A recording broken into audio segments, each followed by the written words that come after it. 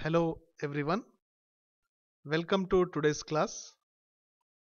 Today's class we will be going to discuss an important topic that is rate analysis. As you see on the screen, this is is very important topic for the construction industry and this itself is a separate department where the rate analysis has to be calculated before quoting for any work. Now let us start our class. Let us go into more deep about it and also understand what are the contents for today's discussion. That is you are seeing on the screen it is as follows. We will be going to discuss what is rate analysis, what does it mean actually. Then we'll be going to discuss why rate analysis. Then after that we'll be going to discuss factors affecting rate analysis. I am starting.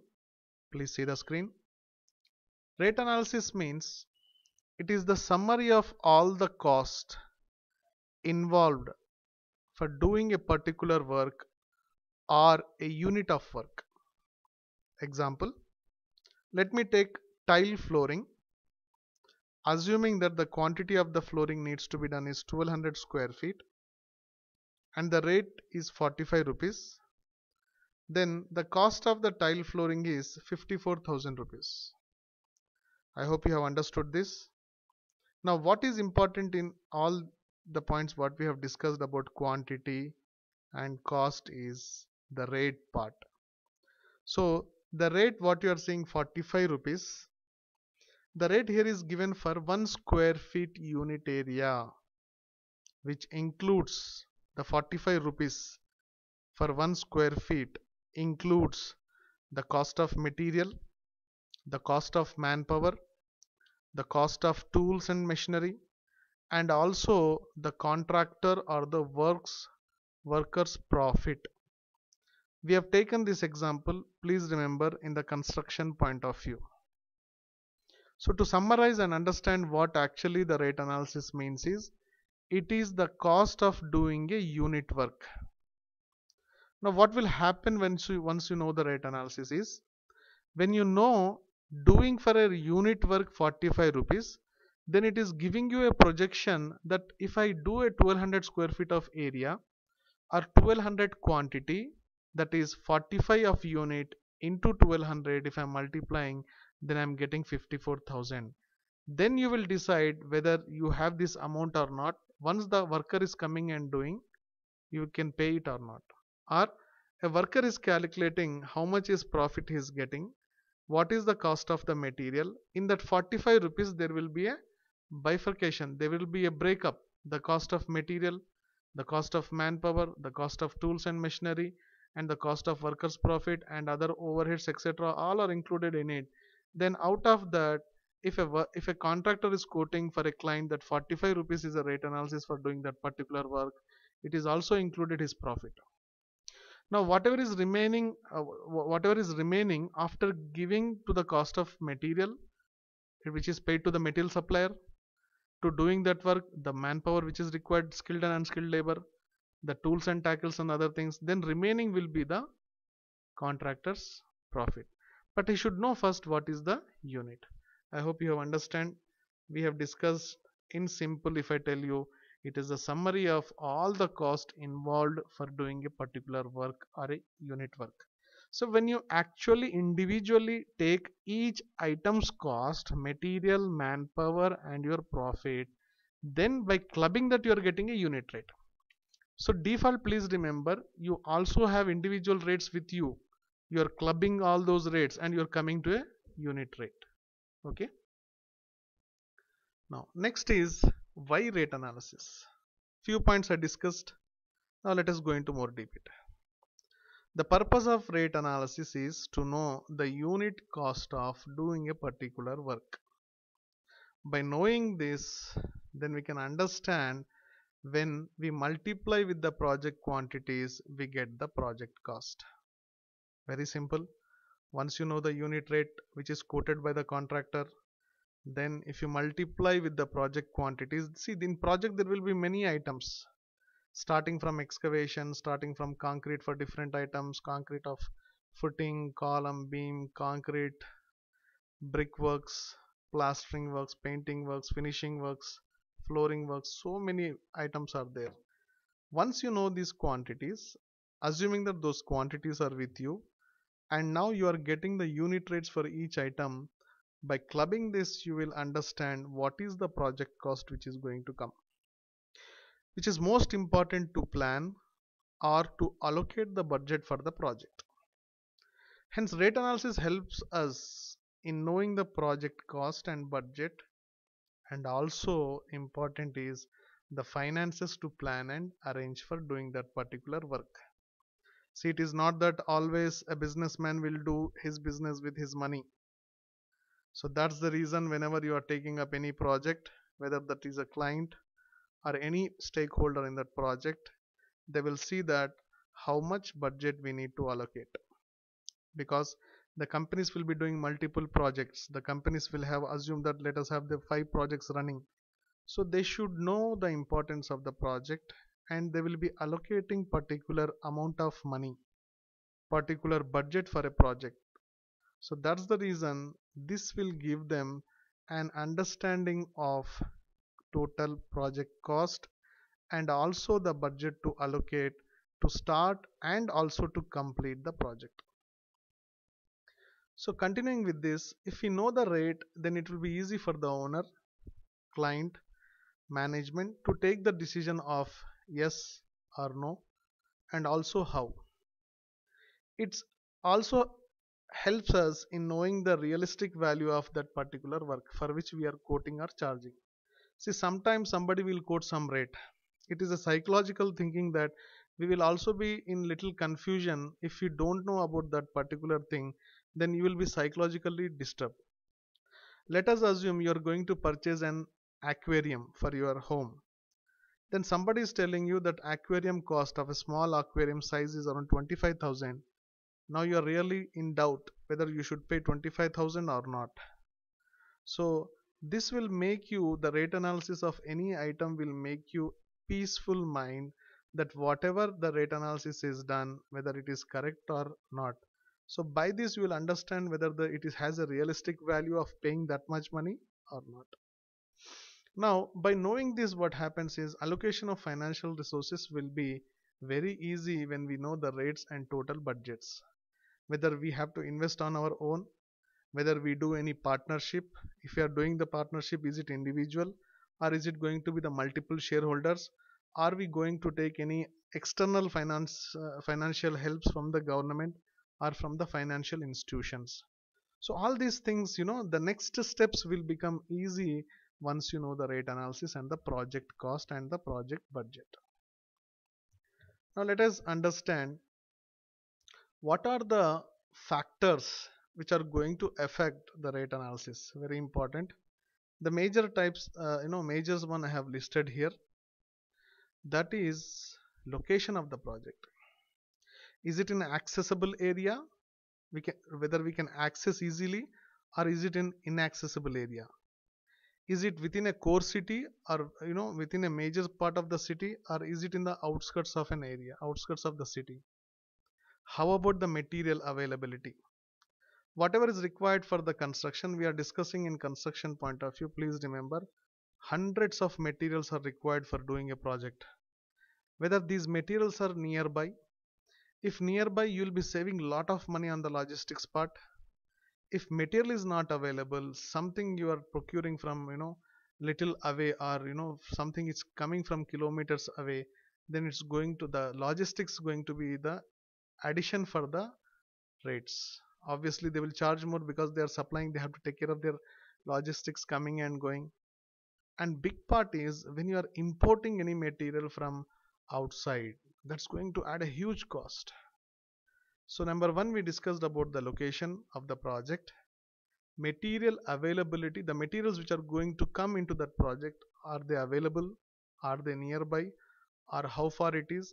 Are they coming from the near town are they coming from nearby state or we are importing from other country? Then how about the workers? Material is there but do we have manpower also to do that work? If we have also are they the right people? Are they skilled people? Or they are unskilled? So that matters. And their efficiency levels also will matter.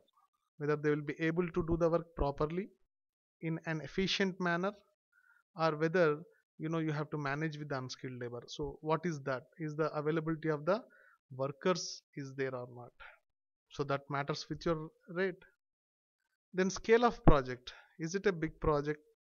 Is it a medium project? Is it a small? Or is it a big large scale project? So the what is the scale of the project will also have an impact on the rate. Assuming that if a project is high rise building more than 10 floors then the technical aspects will also come. Whether to execute that project do you need any technical helps? Do you need any extra technology to take up that particular work? Do you need to install any modern cranes? Do we need to install any material shifting items? What is the machinery we need to use? Do we need to take on rent basis or do we need to purchase it? So because the material shifting is also a big problem in the high-rise buildings if the project is small then you don't have to go into that technicality unless it is some specialized project. Okay? So these are the major things major types you know which are going to affect the rate analysis. And apart from this the other things which will which are going to affect the rate analysis is the market situation the demand and supply. Then what is the political stability in that place? Is it a disturbed place or is it you know the politically very stable one the government is stable whether there are rate rate fluctuations or not you know the vendors and the suppliers will take some little advantage when there is no control from the government.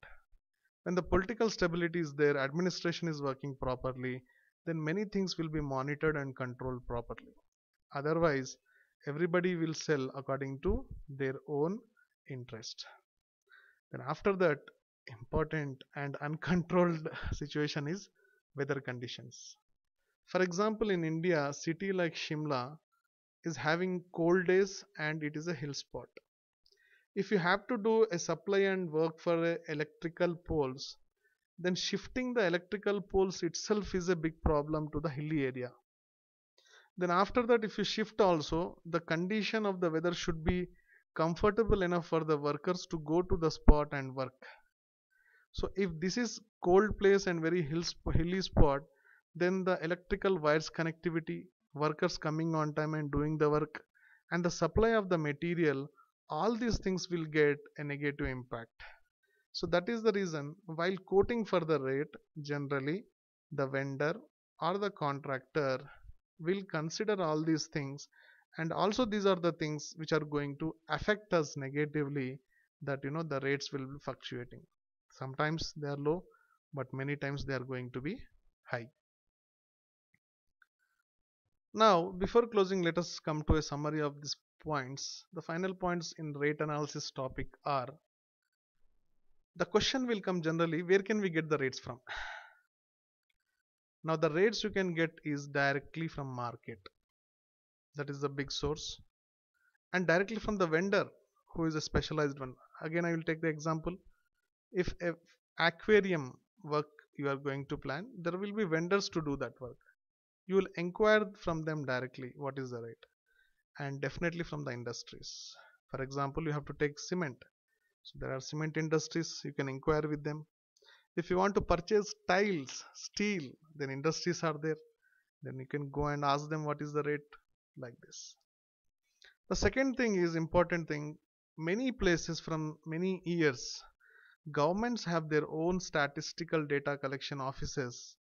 They will collect the rates definite uh, daily basis and the record and publish on monthly basis. District wise state wise they have dates. Generally those are you know department wise rates will be there. In general we call them as standard schedule of rates. So if you go to the department or department websites they will be releasing that sometimes they will be available sometimes you have to pay money and get those standard schedule of rates book. So in that one each and every item will be mentioned and whatever they are measuring from the market those rates will be listed in that. So this ssr will also help us whenever we are quoting for any government project. So you have to see those rates and you have to quote accordingly.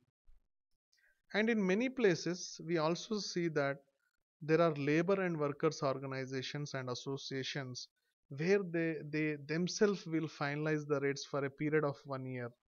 That a mason has to get this much. This is the minimum rate. Then a female labor has to get this much. This is the standard rate. A plumber has to get this much rate. So that is the standard they define for their working hours. Generally for 8 hours the rates will be decided.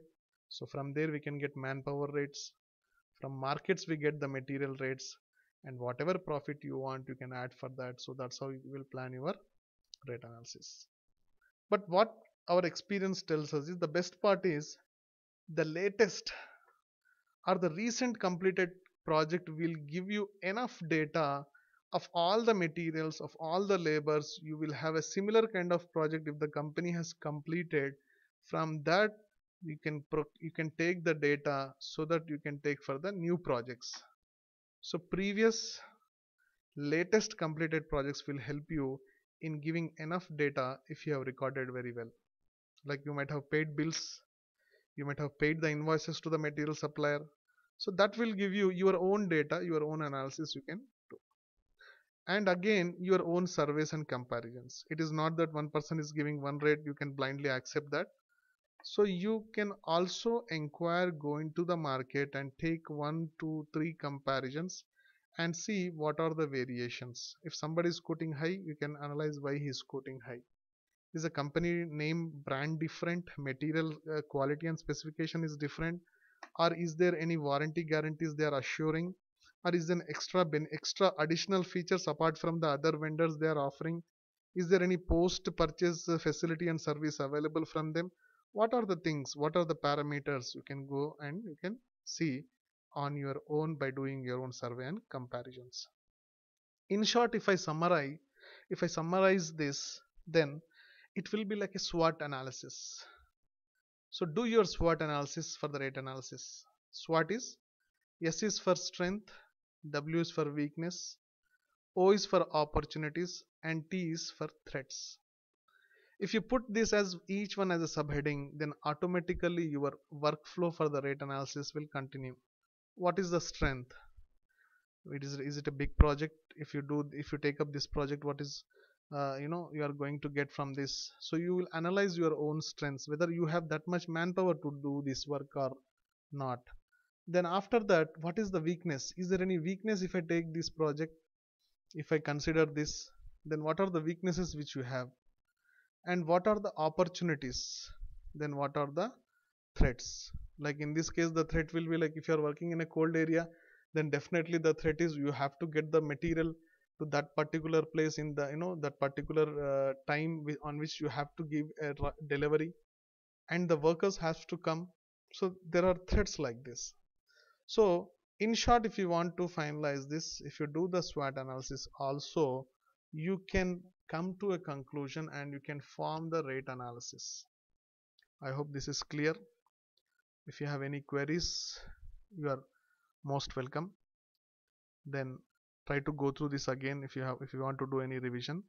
I hope many points have clear to you and you might have understood the importance of rate analysis. Now please remember before quoting any work or before you know completing the tender unless you have proper rate analysis then after completing the project then it will be difficult for you to understand whether you have made any profit or you might have lost.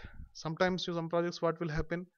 Companies themselves has to invest back 1% 2% or minus 1 2% they will be in loss by doing that work. If you don't have proper rate analysis then how you will understand whether you have gained or whether you have lost?